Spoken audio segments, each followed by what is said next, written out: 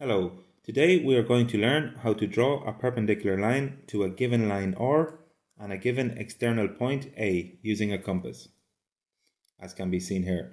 So the first step is setting our compass on the given point A and with a radius of any radius that once it's long enough to cut the line, we scribe an arc and it cuts our given line R at two parts, which we will call P and Q. The next step is setting our compass to a given radius again. Doesn't really matter what, what length. And setting our compass on the new point Q. We're going to scribe an arc below the line, as can be seen here.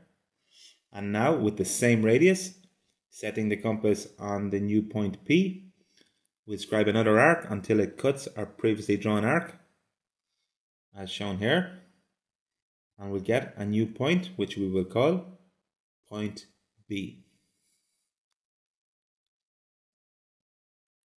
So now to get the perpendicular line that we have that we wanted, we just join points B to points A with a thicker line as shown here. So now we, we will call this new perpendicular line S and we can check our 90 degrees with the set square to make sure that it's 90 degrees and we will mark it with the symbol of perpendicularity as shown here. Okay, I hope this video has helped you. Please press like or subscribe to our YouTube channel. Thank you. Until the next time.